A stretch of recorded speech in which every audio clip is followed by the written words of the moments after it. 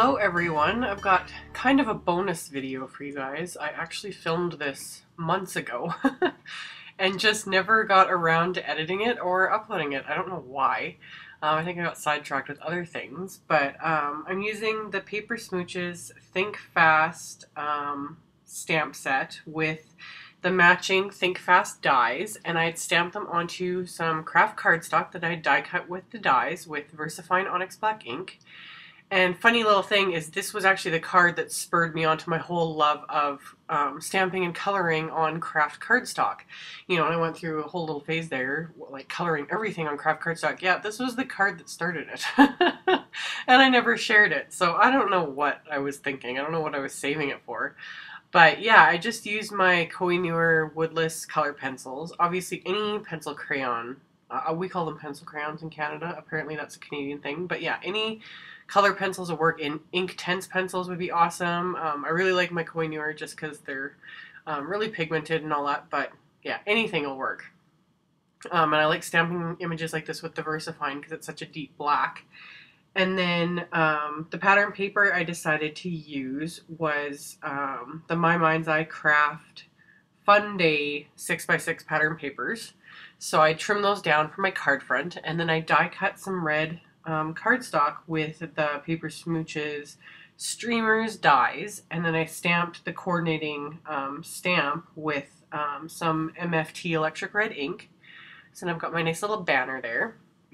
And I wanted to create a sentiment for the card and I went the complete long way about this. Um, this was a while before I really um, could get over like trimming my stamps. So right there I used my embossing buddy onto on the red cardstock there. But all I did was take tape and cover up the areas of the stamp that I didn't want um, to ink up. So you can do that, or you can actually just trim apart your stamps. I just, I still have a hard time doing that. So I take my time and just tape off the areas I don't want, because um, that's just the easiest way to do it. So yeah, just regular scotch tape, making sure to cover up any bits of the stamp that you don't want to ink up. And yeah, it's easier this way than trying to like ink it up and then wipe off the areas you don't want to stamp. Like that would just take forever. So just did that and then you just peel the tape off and you've got just that specific area inked up. So I made sure I had it properly and then lined it up onto my banner.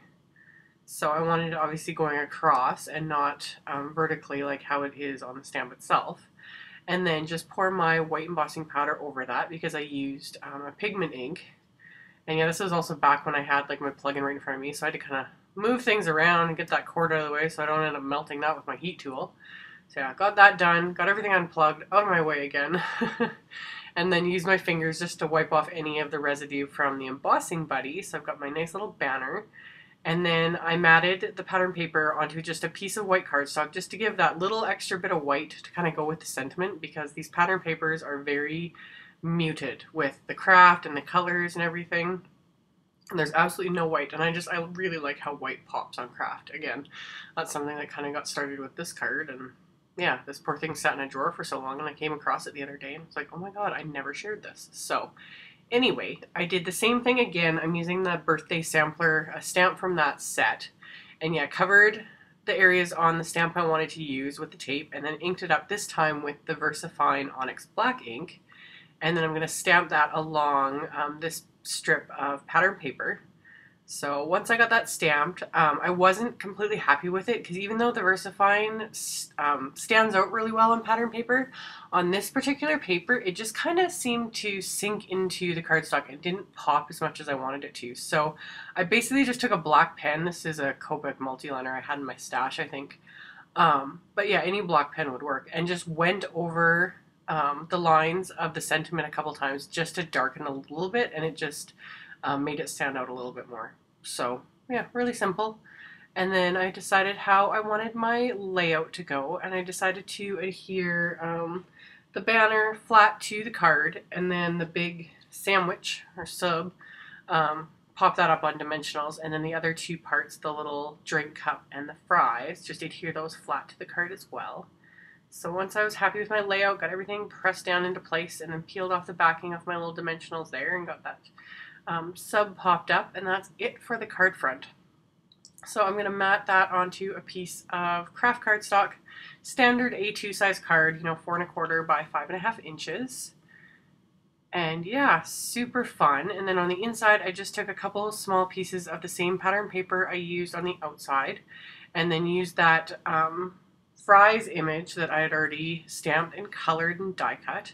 And once I got that into place, I stamped another sentiment from the supersize set with the VersaFine Onyx Black ink, and that's all there was to it. So really fun, masculine kind of themed birthday card, because you know it's always they're always the hardest to make cards for.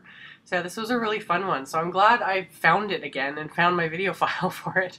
So I hope you guys enjoyed it, and as always there'll be a link below to my blog post with links to all the supplies used, and I will see you guys in the next video. Thanks so much for watching.